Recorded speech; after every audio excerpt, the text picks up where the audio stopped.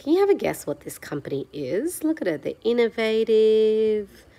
They've got so many opportunities for growth. They innovate under pressure. They give back to their local communities. You can sharpen your skills working there. You can go on holidays.